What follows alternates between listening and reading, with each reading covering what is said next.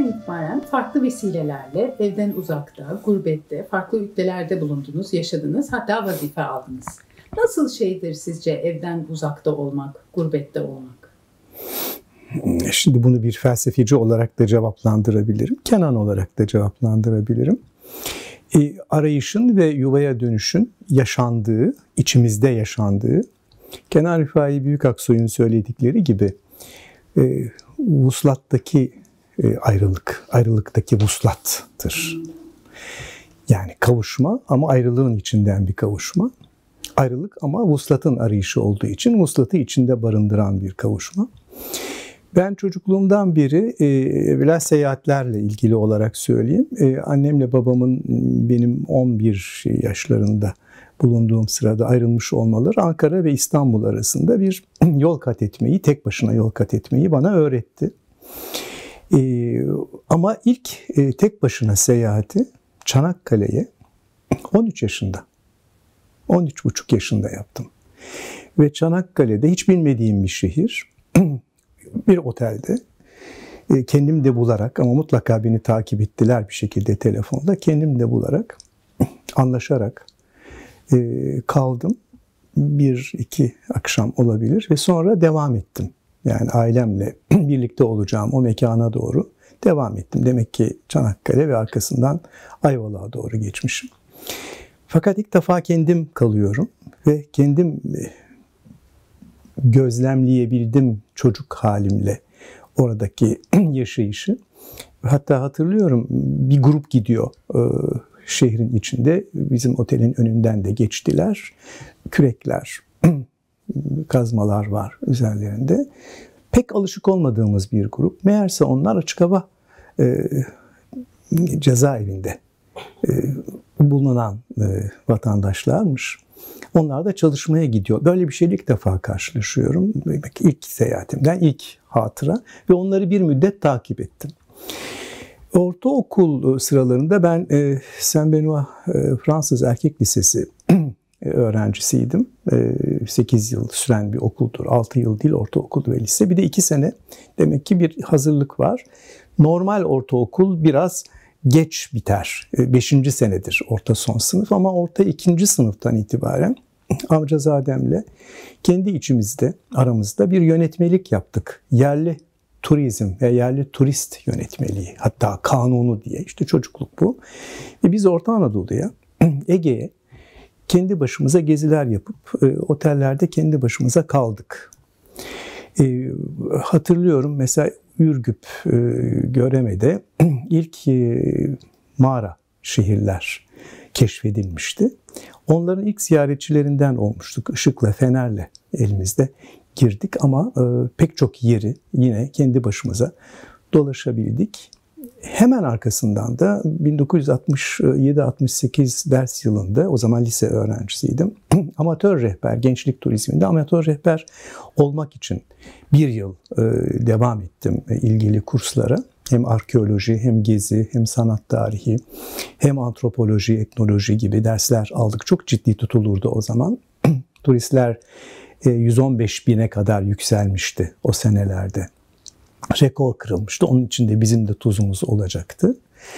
E, o e, rehberlikte, amatör rehberlikte e, lise 1'in sonu, lise 2'nin sonu ve lise 3'ün sonunda çok etkin olarak görev aldım. Hatta yabancı ülkelerden Fransa'da kurulmuş olan Jeunes Sans Frontières yani sınır tanımayan e, gençler diye belki tercüme edebileceğimiz bir gençlik turizm teşekkülünün Türkiye'deki temsilcisi konumuna geldim ve arkadaşlarımla bunu bütün bir Türkiye çapında götürdük. Türk bütün bir Türkiye çapını e, göğsümüzü gere gere söyleyebiliriz. Çünkü bizim ilk senemizde sadece Batı Anadolu Antalya gibi güneyde olan e, şehirlerimiz işte Marmara bölgesi vardı. Fakat e, üçüncü seneye geldiğimizde biz bunu Karadeniz e, kuzeyden başlayarak güneye doğru yani Doğu Anadolu'ya doğru bu turist gezdirme işini grupları gezdirme işini ilk defa olarak başlattık. Muhtemelen büyüklerin turizminde de bu yoktu. İlk defa gençlerde vardı.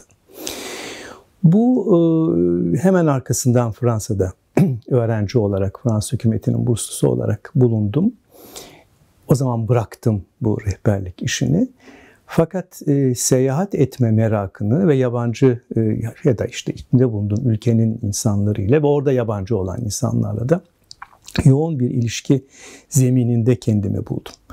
Bunun e, iki veçesi var. Bir tanesi e, 1968'de Fransa'da 68 e, olayları olarak, Mayıs 68 olayları olarak başlayan o e, olayların gerçekleştiricileri benim ilk senemde yani 68'in ilk e, turist rehberi olarak, gençlik turizmindeki rehber olarak çıktığım o dönemde benim muhataplarım oldular.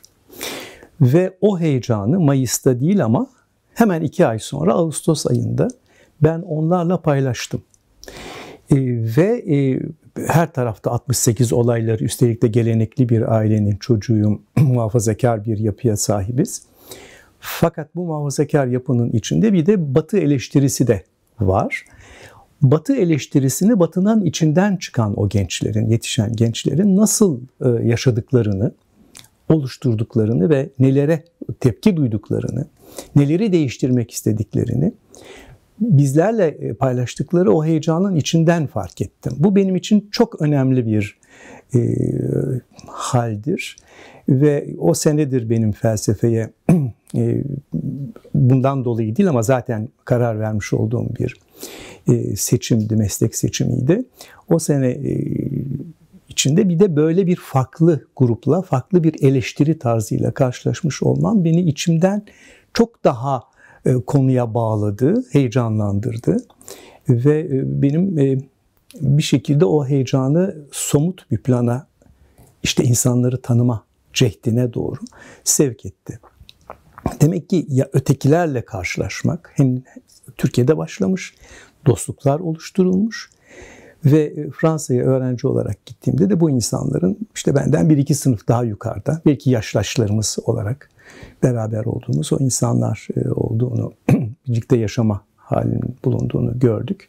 Ve o eleştiriyi e, bir şans olarak kaptım. Yani bir felsefeci ruhumda böyle bir farklılığın, böyle bir eleştirinin, böyle bir medeniyet, e, uygarlık algısının ve uygarlık algısındaki sıkıntıların var olduğunu gördüm, düşünüyorum. Hala da onlar benim içimdedir.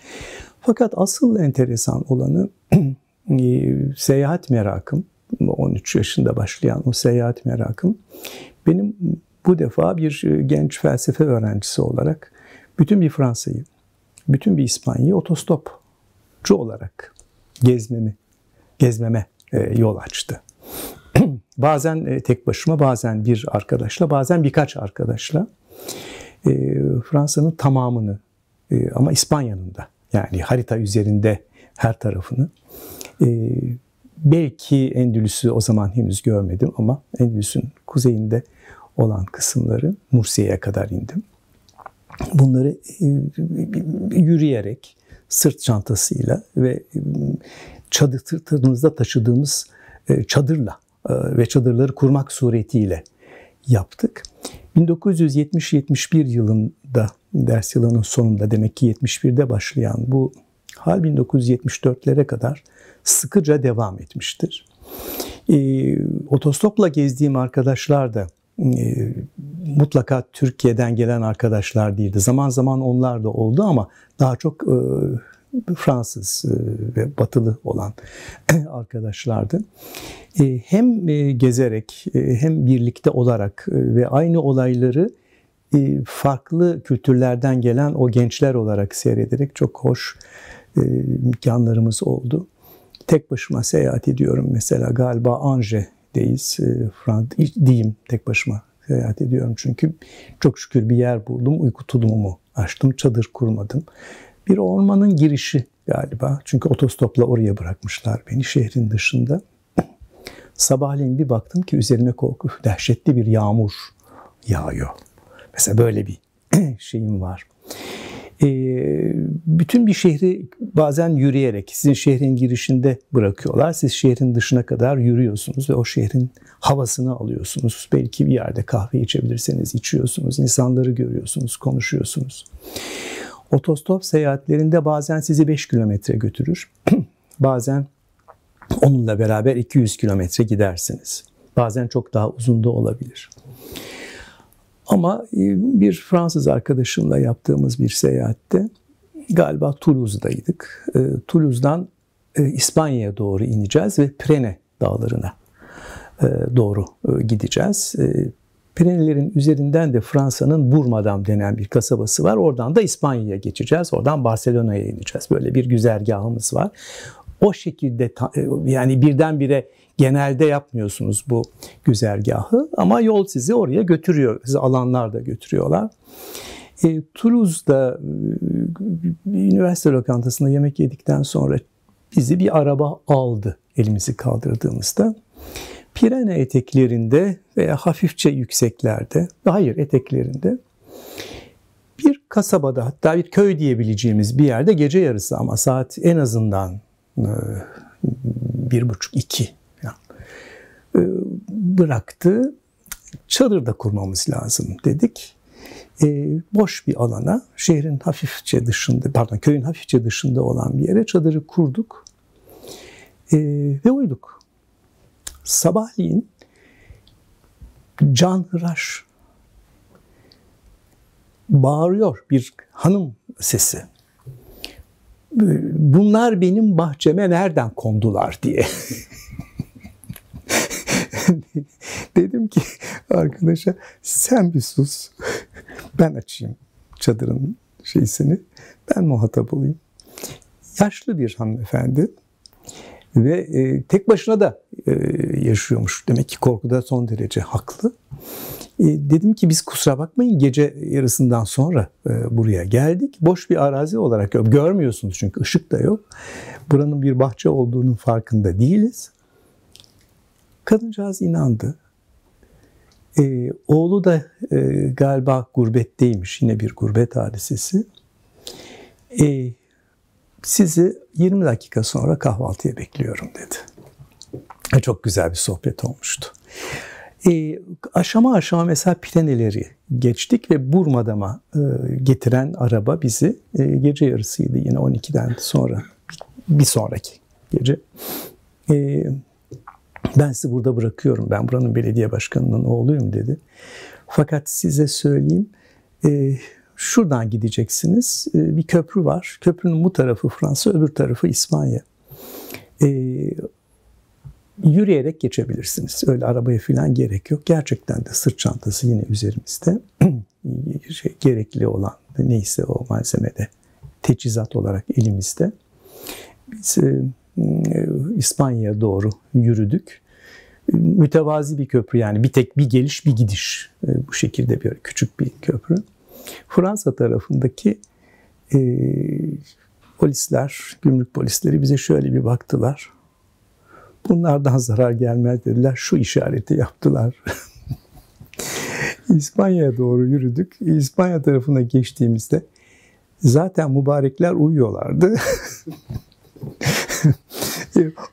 hafif biri gözünü açarmış gibi oldu ama onlar da hadi buyurun dediler. Biz yine böyle yürüyerekten İspanya'nın o ilk e, köyünün yakınlarında yine bir şey kurduk. Yine buna benzeyen pek çok maceralar var.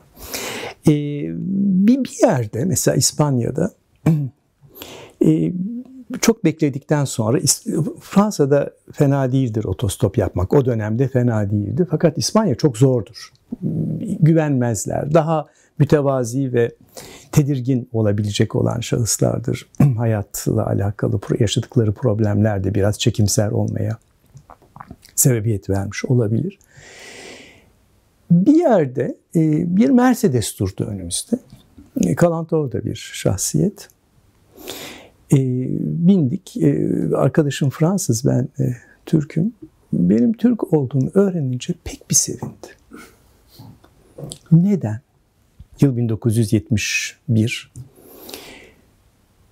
Çünkü e, bunlar e, Franco veya karşıt e, gruptan e, sıkıntıya uğramışlar ve yakalanmışlar. E, bir şekilde Türkiye Büyükelçiliğine sığınmışlar ve Türkiye Büyükelçiliği bunları e, hemen o yakalandıktan sonraki safhada kurtarmış ve gemiyle bir yere göndermiş. Diyor ki ben neredeyse hayatımı e, bu Türkiye'deki tarihçilerine borçluyum. İndi arabadan bizim e, vardığımız noktada ya da bize bırakacağı nokta açtı. E, çok kullanırım ya harika iki tane şarap e, şişesi bunlar sizin dedi verdi. Ben Fransız olan arkadaşıma onu verdim. Tüketmiş olduğunu da biliyorum. E, şey e, ne bileyim Madrid'deyiz mesela. E, şey e, kalacak yer bulamıyoruz. E, açık yer yok. İyice şehrin e, sınır e, hatta sınırın dışı noktalarından bir yerde yani şimdi gece kondu dersem gece konduları beğenmediğim ortaya çıkacak. Çünkü onlarda bir takım güzelliklerin olduğunu görüyorum Türkiye'de.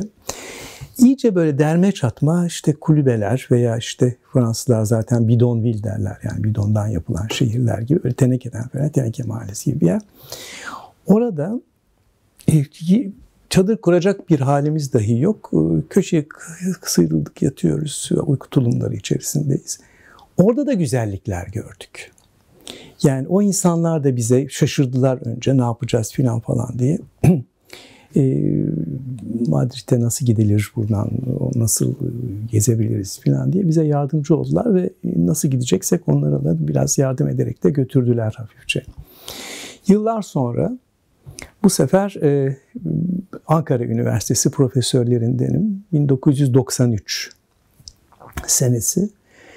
E, Fra, e, İspanya e, 1492'deki Endülüs'te yapmış oldukları o zulümden dolayı yani Yahudilere ve e, Müslümanlara yaptıkları zulümden dolayı Endülüs'ün İspanyollar tarafından alınışının hemen akabinde Isabel kraliçe ve Ferdinand kral e, onların yaptıkları o sefer sonucunda e, büyük sıkıntılar oluyor. Yani seferatları hatırlıyorsunuz. Kemal Reis'in oradaki hem Yahudileri hem Müslümanları nasıl kurtardığını, Osmanlı diyarına getirip onları yerleştirdiğini falan.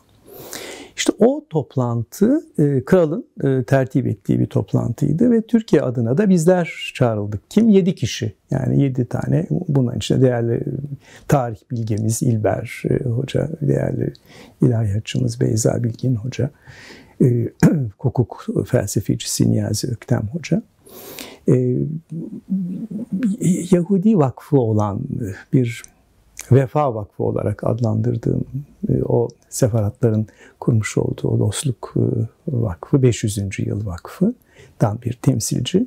Bir de Türk Hristiyan e, dünyasından yine bir rahibin de bulunduğu bir yedi kişilik hepsini saymadım ama yedi kişilik bir heyet içindeyiz. Bu sefer kralın davetlisi olarak harikulade bir yerde kalıyoruz. İhtimam gösteriliyor, itibar ediliyor ve bizi e, Alcala'ya götürüyorlar. Alcala da Cervantes'in doğduğu o şehir. E, bir yerden geçerken harikulade binalar yapılmış. Ben burayı tanıyorum dedim.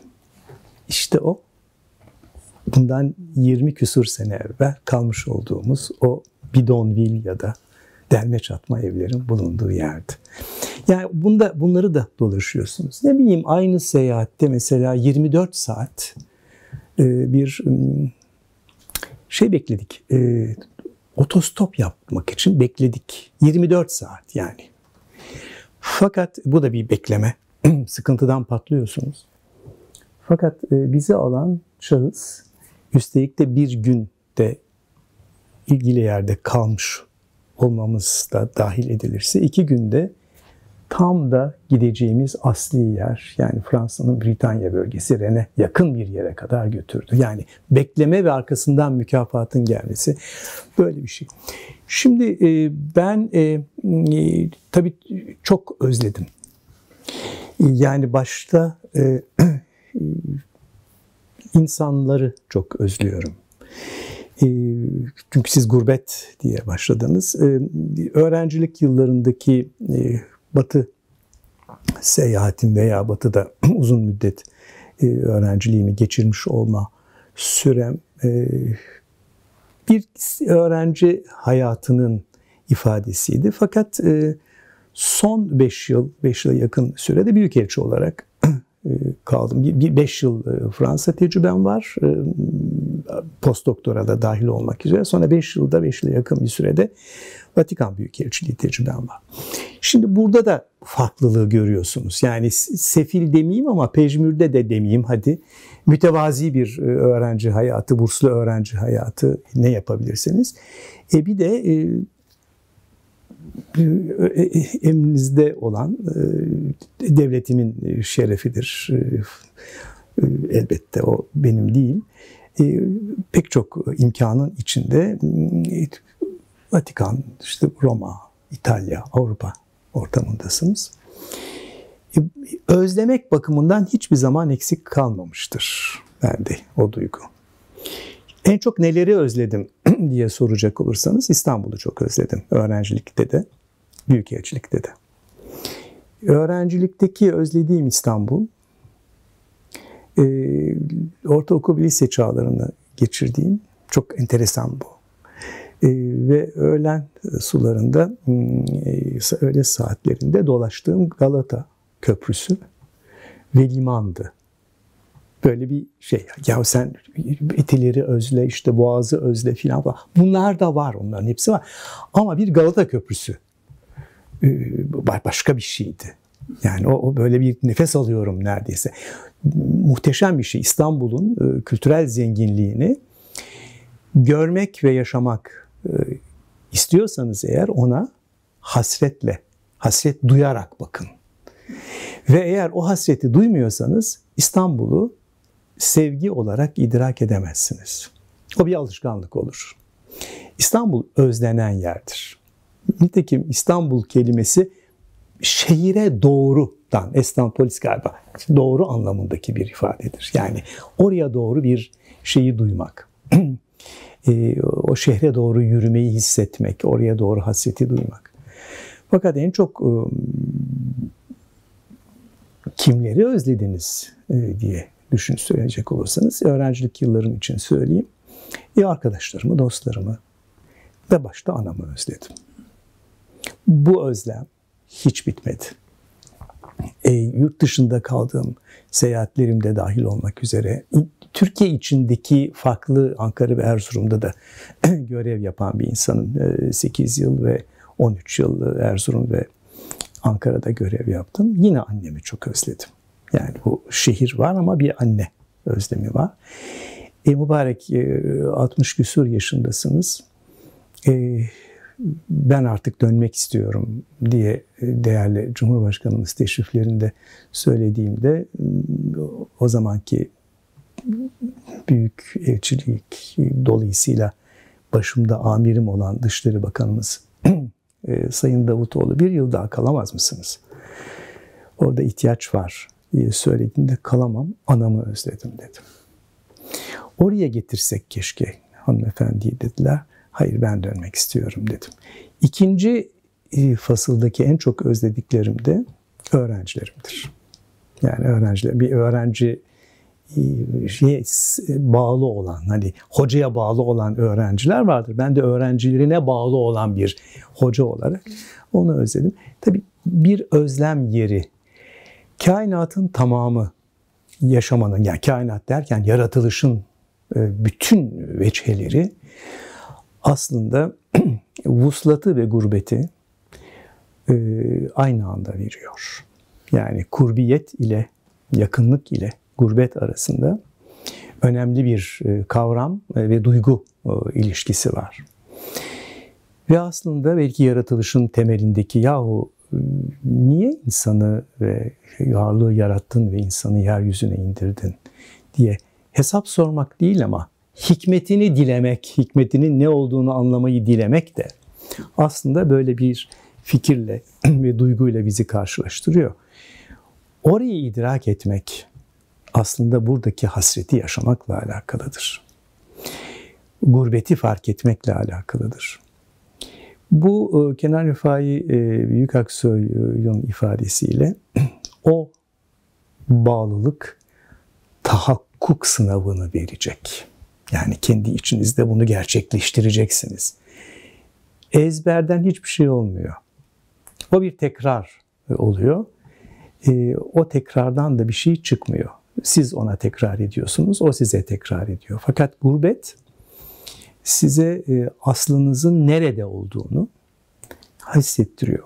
Hazreti Pir e, Mevlana Celaleddin Rumi Hazretleri'nin ilk 18 beyitinin ilk e, beyitinde işit diye bizim gönlümüze, gönlümüzün kulağına yaptığı ikazda bunu bize hissettirmek istediği açıktır.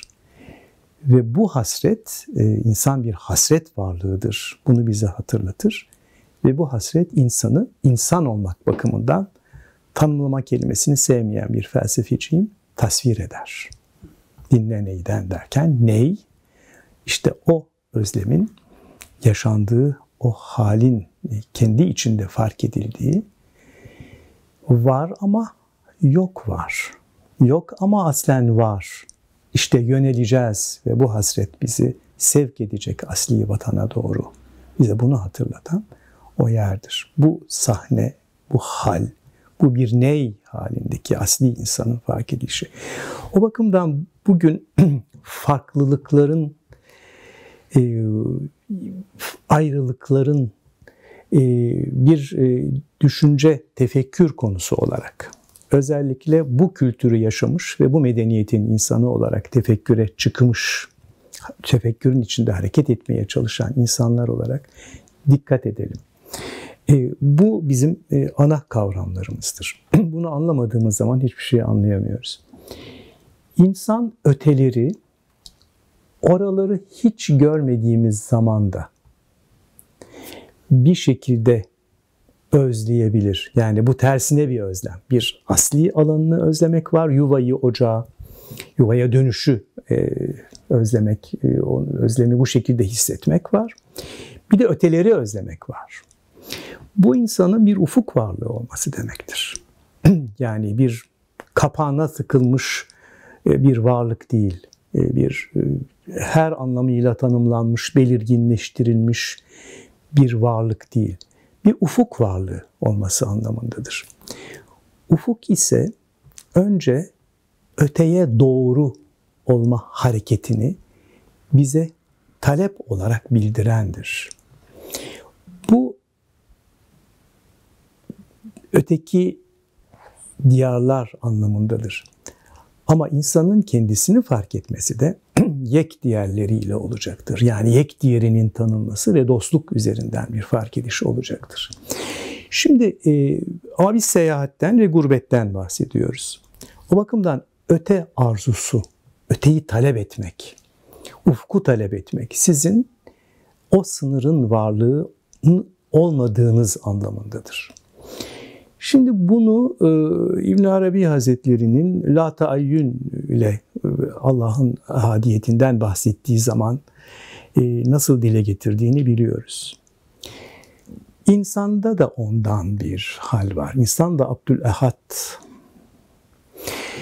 yani sığmadığını ve ancak oraya doğru bir varlık olduğunu ki Hazreti Pir'in Mevlana'nın hasret varlığı fikrinde de bu var. Oraya doğru bir varlık olduğunu fark ettiği zaman insan oluyor. Atalım da gurbette acı çeksin anlamında bunu söylemiyoruz. Gurbeti içinize de alabilirsiniz. Ama e, o mesafe sizi size kazandıran bir mesafedir. Geri dönüş itibariyle de yani rücu itibariyle de talep ve atılım itibariyle de. O bakımdan üzerinde durulması gerekir. Şimdi bu e, vahşi kapitalizm dediğimiz bu globalleşme ya da küreselleşme sürecinde pek çok değere biz yabancılaştık. Bu yabancılaşmaların içinde seyahatin anlamı da var. E, seyahat dikkat edin turizmin içinde e, seyahat gezi satın almakla alakalı olarak anılıyor. İlk defa duyduğumda ne duyuyorum dedim. E, bu satın alınan bir mal gibi gerçekleştirilecek bir iş değildir. Seyyah olmaya insan bu sefer de bu noktadan alalım. Özlem duyar.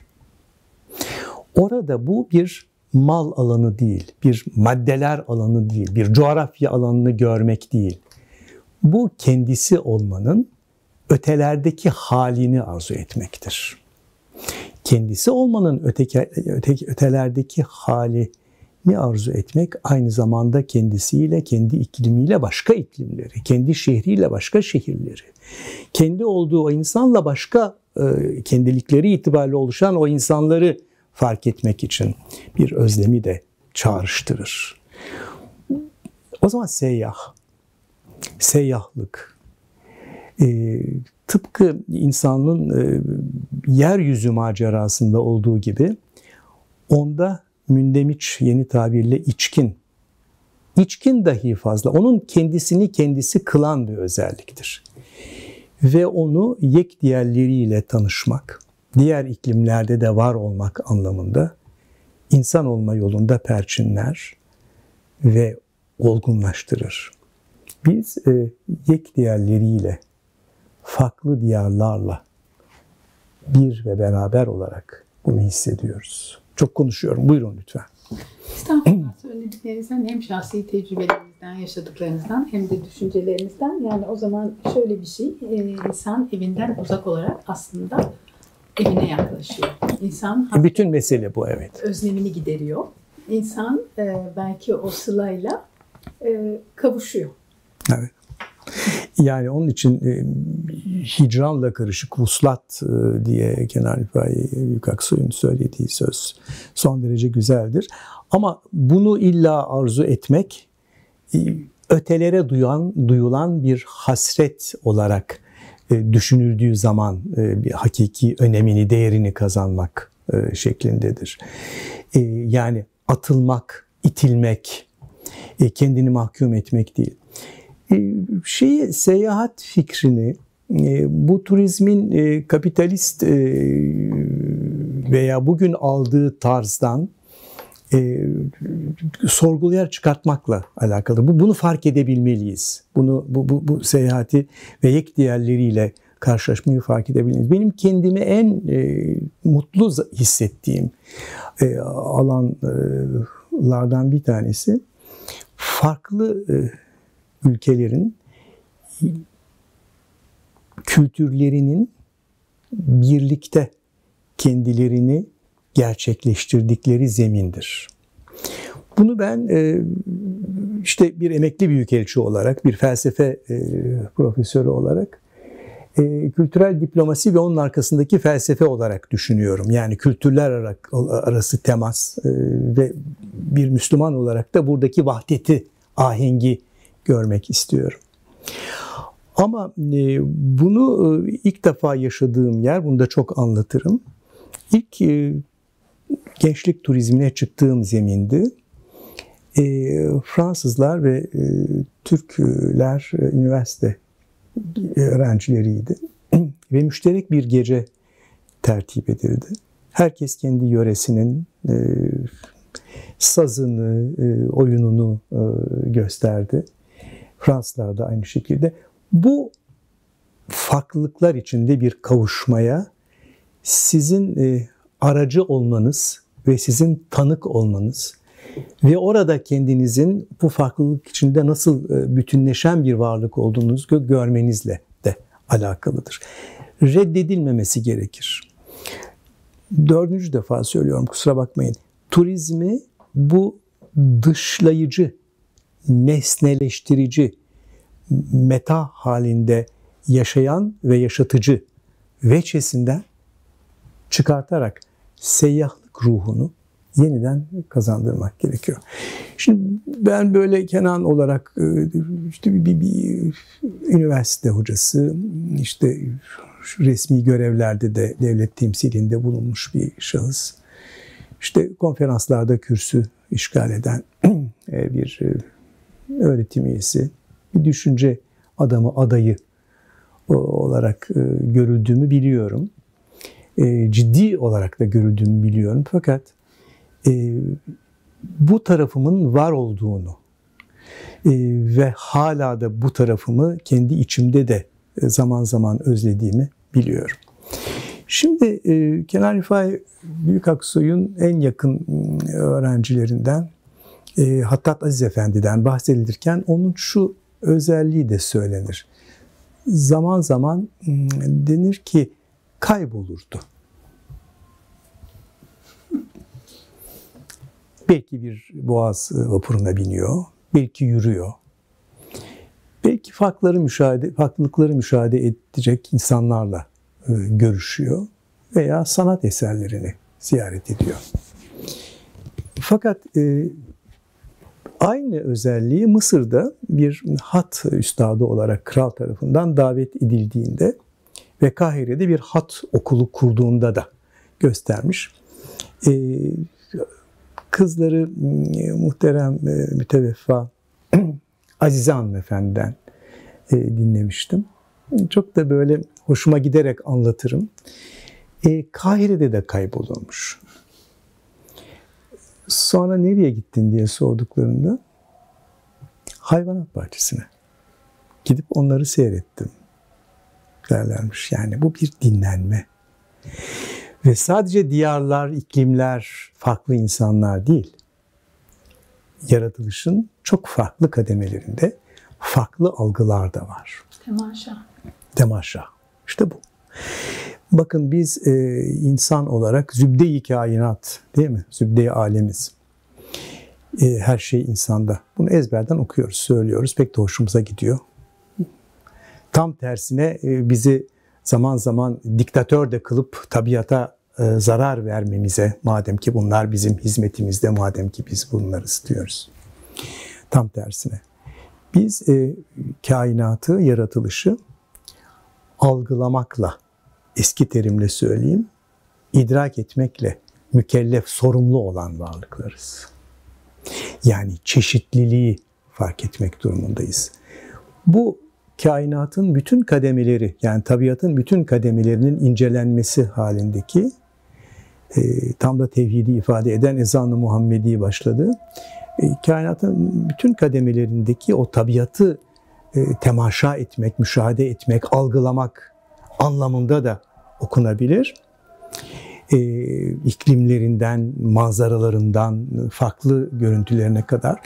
Ama farklı sosyolojik yapıları da yani kültürel, antropolojik, etnolojik yapıları da idrak etmek anlamındadır.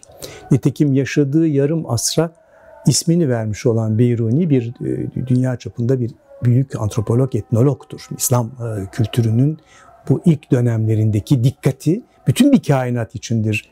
E, kendini kainatın algısından alıkoyacak müzevi bir hayatı seçmiyor Müslüman mütefekkir içine gidiyor ve müşahede ediyor, dolaşıyor ve e, bizim en önemli e, şahsiyetlerimizden bir tanesi Evliya Çelebi'dir.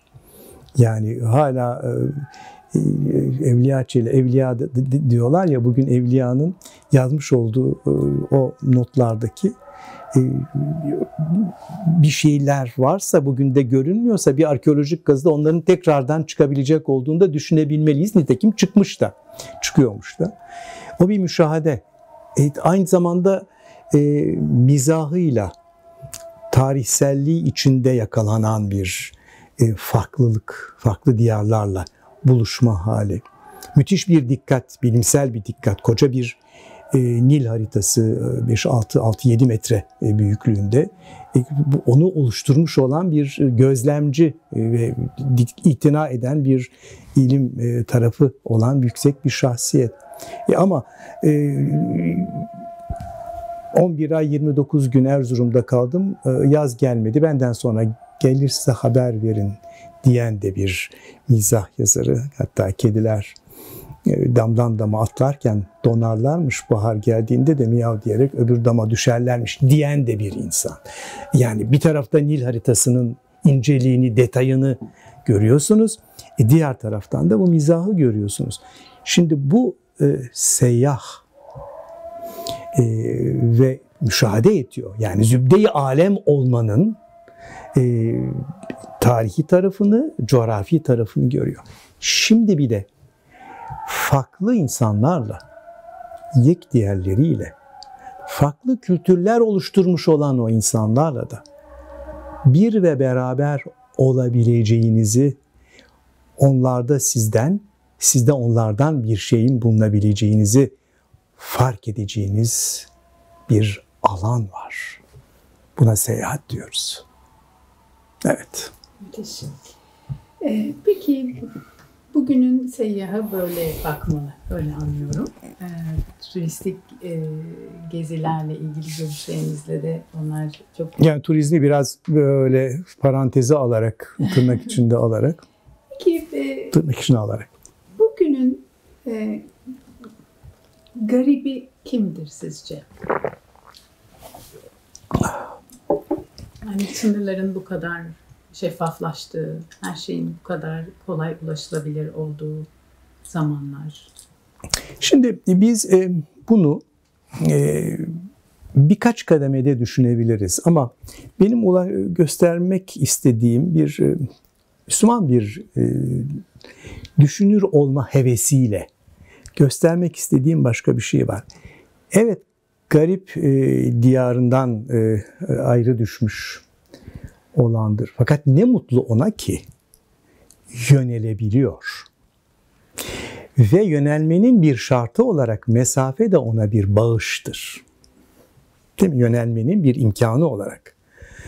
Aman Allah ayrı, ayrı komasın ama bunun bir manası var. Bir Müslüman olarak e, bunu tekrar konuşalım veya böyle düşünen bir e, duygu insanı olarak e, belki kendisini Müslüman olarak tanımlamak istemeyecektir ama bu özelliğin, bu düşünme ve hissetme özelliğini söyleyeceğim özelliğin Müslümanla birlikte daha rahatlıkla anılabilecek olduğunu, özellikle tasavvufun içinden daha rahat anılabilecek olduğunu düşünüyorum. Bakın kimdir o insan ki ona korku ve hüzün yoktur. Rabbimiz Allah deyip istikamet üzere olanlara değil mi korku ve hüzün yoktur. Şimdi bunu böylesine söylüyoruz. Kur'an-ı Kerim ayeti bu. Biraz daha deşelim. Eğer siz kendinizi bir kendi adınıza bir olgunlaşma süreci yolunda hissedebiliyorsanız hem gurbeti hem de vuslatı aynı anda hissediyorsunuz demektir. Peki o zaman asıl garip kim? Bu hattın dışında kalan.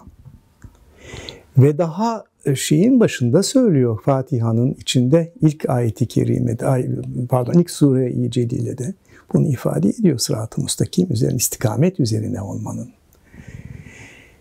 Yani içindeki insanı hissedip, içindeki insanın olgun veçesine doğru yürüyebiliyorsa, o belki gurbeti herkesten daha farklı olarak, belki daha fazla olarak ama daha derin olarak hissedendir.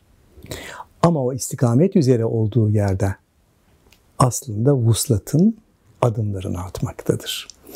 Bakın vuslata adım demedim. Vuslatın bizzat kendisinin hissedilişi demek olan adımları atmaktadır. Biraz evvel e, mübarek e, şahsiyetimizin muslat ve hicran arasındaki değil mi? E, bütünlüğü ifade edişindeki özelliği tekrar hissedelim. Vuslatın içinde o adımlar atılır. Ve o vuslatın içindeki adımlar kendi olduğunuz, kendinizi bildiğiniz Çünkü kendi yolunuzda olduğunuz, kendi olgunluk sürecinizde olduğunuz yer itibariyle vuslattır. Ama bunun size verilişi ayrılıktır. Efendim bu nerede kendisini ifade eder? Benim de çok fazla açtığınız, hiç bahsetmek istemediğim bir alana da hiç de beceremeyeceğim bir alana girmiş olayım. E tabi aşkta hissedersiniz. İlahi aşkta hissedersiniz. Aşk bu hicranın ve bu muslatın bir ve aynı şey olarak yaşandığı o yerdir. Sır insanın sırrıdır. Bu anlattıklarınız biraz e, şeyi e, anımsatıyor bana. Hani her şeyin zıddıyla aşikar oluşuna da buradan bakın. Bunu zıtlar zıt kavramını bile aşmış oluyorsunuz. Evet. Yani zıt kavramını bile yani zıtlar kavramını bile aşmış oluyorsunuz. Öyle bir tarafı var. Aşk noktasında. O, o, o şey Ama bunu bir tefekkür halinde de yaşayabilirsiniz. Ee, bunu bir ahlak olarak da yaşayabilirsiniz. Yani erdemli olmak, asli değere doğru yönelmek ve onu gerçekleştirmek için değil mi? Ortaya koyabilmek ve kendi adınıza o erdemi elde etmek için bir yaşamadır ahlak. Evet bilim olarak da yaşayabilirsiniz, tefekkür olarak da yaşayabilirsiniz. E, iman olarak yaşarsınız. İman böyle bir şey. Yani o hattın üzerinde olmak. Yani bu e, e zannediliyor ki tanımladınız. E, işte sırat-ı mustakimde de budur e, dediniz. Doğru. Bu e, geniş anlamıyla elbette böyle. Ama hitap sizedir. Sizin olduğunuz o yer itibariyledir. Ve şimdi siz o yere, o olgunlaşma sürecine kendiniz olduğunuz o yerden devam edersiniz. Ee, yani üstakim olan o yolda bulunmak böyle bir şeydir. Bir şeyin tekrarı değildir. Bir örneğin üzerinden kendinize yansıtırsınız. Hatta örneği takip ederken kendiniz kendiniz olmak bakımından kendi iç varlığınızda olgunlaşma sürecini yaşarsınız. Bu hattın üzerinde olamamak e, gurbettir. Aslen gurbettir. Dahası yabancılaşmadır. Ama gurbete itiraz etmeyelim, gurbete de yabancı kalmayalım, gurbete de iftira atmayalım. O bize tam da muslatın zemini olarak verilmiştir. Böyle bir şey. Çok teşekkür ederiz. Estağfurullah.